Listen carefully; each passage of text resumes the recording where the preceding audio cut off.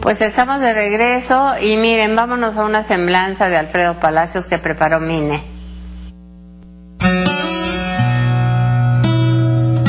Palacios, conocido como el estilista de las estrellas, nació el 21 de diciembre de 1947 en el estado de Veracruz. Abandonó su tierra desde muy joven para perseguir su sueño y se trasladó a vivir en la Ciudad de México, donde tiempo después comenzó su carrera como estilista. Su primer salón lo montó en la calle de Marsella, en la zona rosa, colonia en la que la periodista Maxine Woodside, quien en ese entonces trabajaba en Televisa, tenía una boutique. Ella visitó el salón de Alfredo y se hicieron amigos. Gracias a ella conoce a otros personajes de la televisión, quienes acuden a cortarse el cabello a su salón o el mismo Alfredo va a Televisa a prestarles el servicio. Así comienza la fama de Alfredo Palat, que un día le proponen un programa en la televisión, mismo que al principio rechaza porque no se sentía cómodo ante las cámaras, pero lo convence su amigo Ernesto Alonso, quien lo acompaña a hacer la negociación, y así comienza a trabajar en el programa de televisión en el Canal 2 Vida Diaria, y luego Todos para Todos, durante nueve años al aire. Durante esos años fue el encargado de embellecer a varias figuras del espectáculo como María Teresa Rivas, Salina Fernández, Irma Lozano, Edith González, Olivia Collins, Silvia Pinal, Julieta Rosen, Joaquín López Ana Silvetti, Angélica María, María Sorté, María Victoria, Irma Serrano La Tigresa, Lucía Méndez, Laura León, Jacqueline Andere, Maribel Guardia, Verónica Castro, quien se convirtió en una de sus grandes amigas,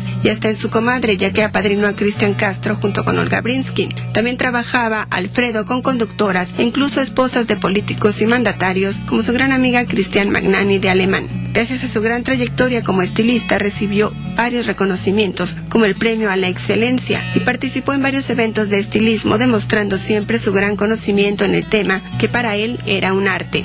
En 1989 recibe la invitación para trabajar en Radio Fórmula en el programa Todo para la Mujer que produciría Maxine Woodside. Sin embargo, no le dieron permiso en Televisa para colaborar en otro medio y decidió cancelar su participación en Radio Fórmula, por lo que Maxine, debido a la premura con la que le avisó que no podía entrar, decidió ella tomar el toro por los cuernos y entrar al aire conduciendo el programa que desde entonces sería de espectáculos. Sin embargo, al año siguiente vuelve a recibir Alfredo Palacios la invitación de parte de don Rogerio Azcárraga para incorporarse a la programación de Radio Fórmula y comienza así Salud y Belleza, el cual realizó por 30 años en esta primera cadena nacional 970M y 103.3 FM. En su programa radial compartía, como su nombre lo indica, consejos de belleza, de salud, con la participación de diversos especialistas y consejos de la vida diaria. Cuando Alfredo Palacio recibió el ofrecimiento de empezar en la radio, comentaba que se sentía abrumado porque ocuparía el lugar de María Victoria Llamas y ella era una mujer que se expresaba de manera muy culta, mientras él decía que era un salvaje y decía las cosas como van, así que pensó que habría comparaciones.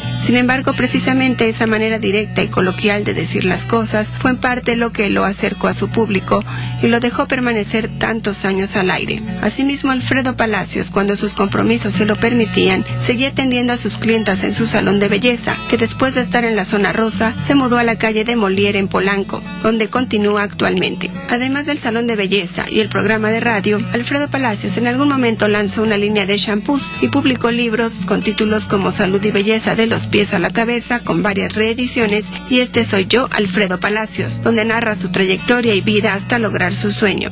También fue colaborador de diversas publicaciones, como la revista TV y Novelas, asesorando a los lectores. En el 2019, su amigo el diseñador Mitzi le rindió un homenaje con un desfile en el que varias de sus famosas amigas participaron y acudieron a desearle lo mejor. La madrina fue la productora Carla Estrada. Varios problemas de salud aquejaron a Alfredo a lo largo de su vida. En enero de este año estuvo internado más de 17 días por problemas de circulación en una de sus piernas, complicándosele con otros padecimientos en el riñón y el corazón, pero salió adelante. En los últimos meses, desde su casa, transmitía su programa de radio ayudado en cabina por sus colaboradores Marco Antonio Silva y Gaby Bazán y su productora Lulu León y el resto de su equipo. Alfredo falleció la tarde del domingo 25 de octubre a los 72 años de edad. Le sobreviven su hija Grace y su hermana Elsie. Descanse en paz y hasta el cielo, como decía él, le enviamos todo nuestro amor y todo nuestro cariño.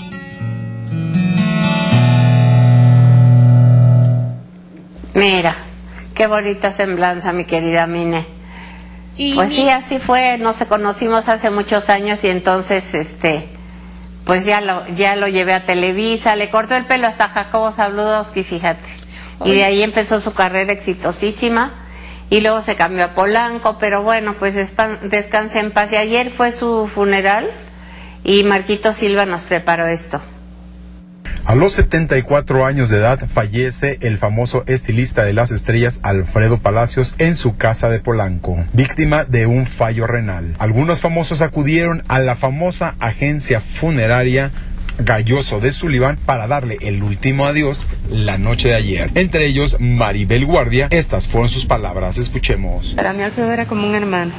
Lo conocí desde que vine a, concursar para Miss Universo eh, cuando tenía un saloncito de belleza por allá. Y desde ahí empezó una amistad que duró toda la vida. Em, era un tipazo. Alfredo fue un hombre que ayudó a tanta gente, hacía caridad, regalaba sillas de ruedas, ayudaba a la gente con cáncer, a la gente que llegaba al salón de belleza, eh, a muchas compañeras, sé de, de lo sé, que cuando estaban en problemas les prestó dinero y cantidades fuertes de dinero porque era un amigo entrañable, sincero, directo, con un sentido del humor negro, te decía lo que tenía que decirte en la cara, este, no tenía pelos en la lengua, pero cuando estabas en problemas era el primero que estaba ahí junto a ti, dándote apoyo, ayudándote en lo que tú necesitabas. ¿Cuándo fue la última vez que platicaron? Pues mira, lo fui a ver al hospital, que logré entrar porque estaba en cuidados intermedios, y bueno, ese día me quedé como dos horas con él, lo fui a ver varias veces, pero no pude entrar porque le estaban haciendo diálisis y esto hasta que logré estar con él. Y luego hace 10 días estuve con él en la casa que también le llevé una gelatina. Toda se la comió con un gran gusto. Estuvimos chismeando riéndonos. Y la verdad él tenía tantos planes para vivir que Alfredo nunca te contaba nada de las compañeras nada malo. Porque Dios guarde él sabía todos los chismes de todas y la vida íntima pero jamás te contaba las cosas personales. Que lo enterraran en Veracruz, pero eso fue alguna una cosa que platicamos alguna vez. Yo creo que ahorita le van a hacer una misa y mañana otra misa a las 10 de la mañana y de ahí se lo van a llevar para Veracruz.